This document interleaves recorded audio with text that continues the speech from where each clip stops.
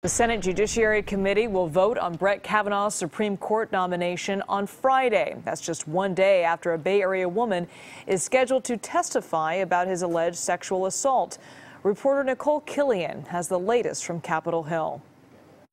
Senators say they're eager to hear from Dr. Christine Blasey Ford Thursday, the first person to come forward and accuse Judge Brett Kavanaugh of sexual misconduct. We're going to have to sit and listen and hear both sides and, and, go from there. But both sides are accusing the other of playing politics. Majority Leader Mitch McConnell called the accusations a smear. That vague, unsubstantiated, and uncorroborated allegations of 30 plus year old misconduct is nowhere near grounds to nullify someone's career or destroy their good name. That drew a swift rebuke from the Democratic leader.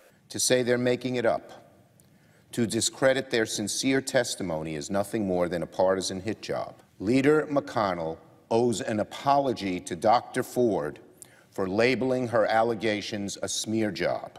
Democrats are calling for an FBI investigation to get to the truth. We need to take the time to investigate what happened.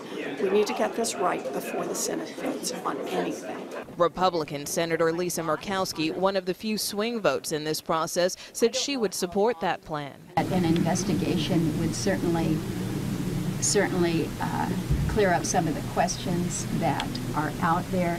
But Leader McConnell says a vote will happen quickly after the hearing scheduled for Thursday. Nicole Killion, CBS News, Capitol Hill.